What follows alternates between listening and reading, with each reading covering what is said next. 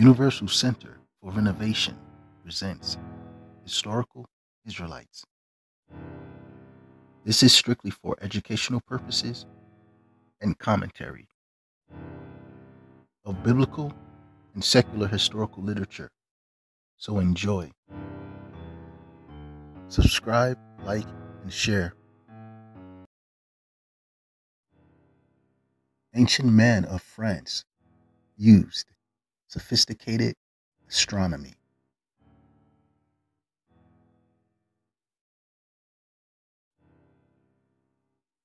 Now they were the grandchildren of Noah, in honor of whom names were imposed on the nations by those that first seized upon them. Japheth, the son of Noah, had seven sons. For Gomer founded those whom the Greeks now call Galatians, Gauls, but were then called Gomerites. Gaul is Gaul or France. Genesis chapter 10, verse 2. The sons of Japheth, Gomer.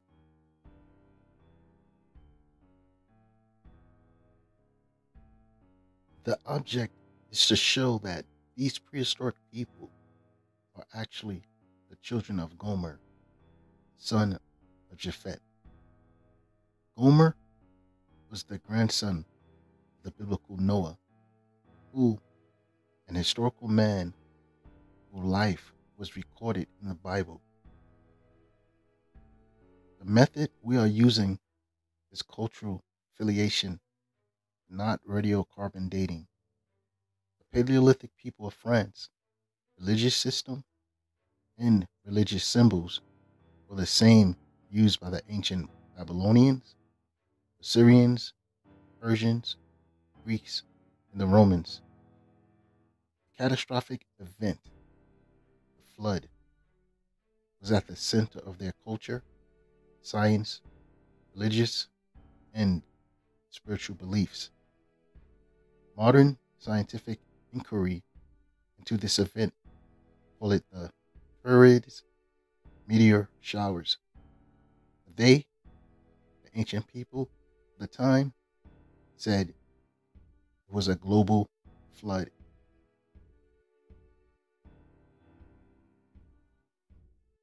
Let's call France.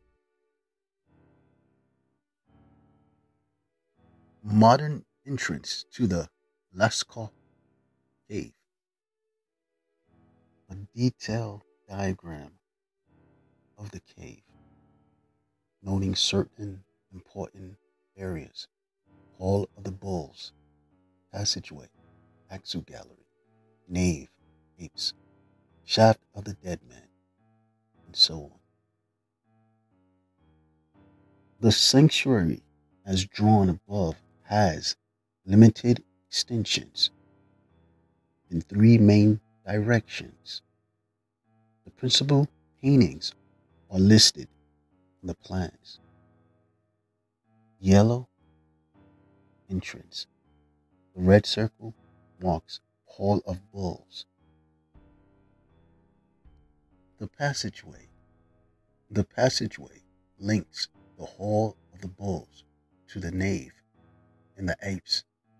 It contains a great concentration of images that are often difficult to decipher.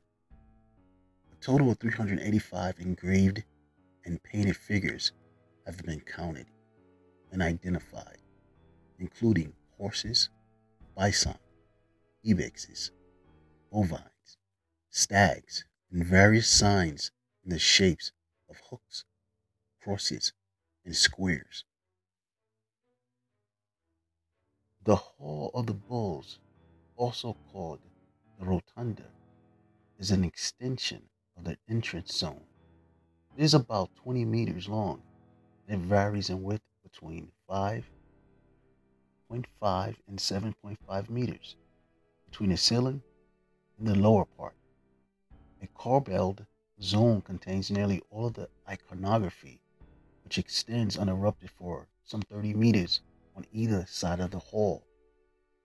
The extremely white calcite walls help to show off the beautiful wall paintings. By contributing to the saturation of the colors, the images in the Hall of the Bulls are amongst the most striking in all of Paleolithic art. 130 figures, including 36 representations of animals and some 50 geometric signs. This extensive frieze is composed of three animal themes horses, 17 individuals, cattle, 11 cows and bulls, and deer, six stags, which recur consistently in the various parts of the cave. Exceptionally, a bear is also depicted.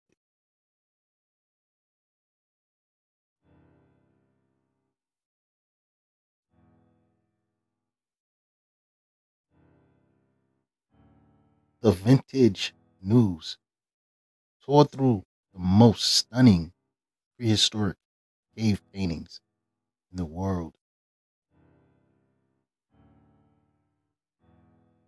Cave paintings may actually be sophisticated star maps. Early cave art shows that people had advanced knowledge of the night sky within the last ice age. Intellectually, they were hardly any different to us today. These findings support a theory of multiple comet impacts over the course of human development.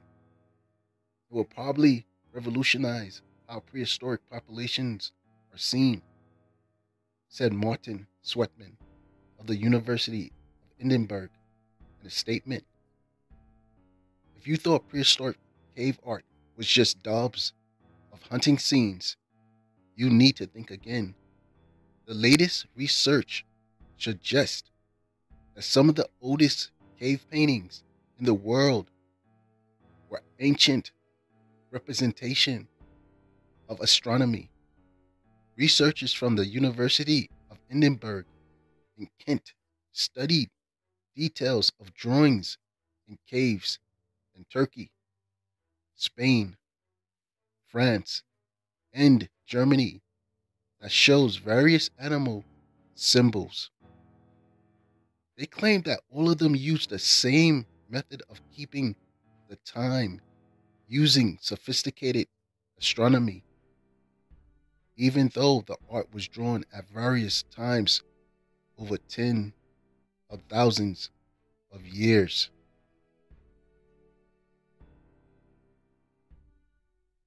Turkey, the country where Mount Ararat is located, also known as the resting place of Noah's Ark, is a principal point in our story when we look into the history of mankind. This is the start of a cultural continuity that starts in the mountains of Turkey and continue in Spain, Germany, and France. Are Lascaux cave paintings encoded Paleolithic star charts?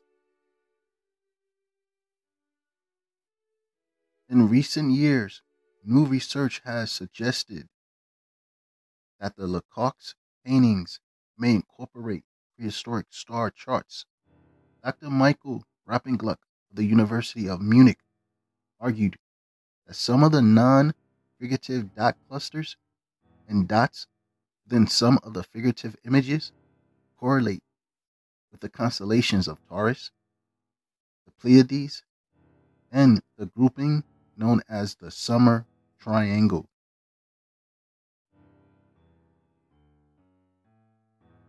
Near to the entrance of the Lascaux Cave complex is a magnificent painting of a bull.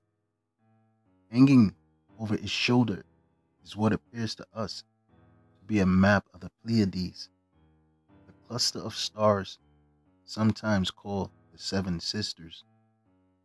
Inside the bull painting there are also indications of spots that may be a representation of other stars found in that region of the sky. Today, this region forms part of the constellation of Taurus, the bull, with the remarkable suggestion of a direct transfer of information over 17,000 years. 17,000 years is too long to fit within the biblical narrative. But let's see if recorded, documented history will solve this problem.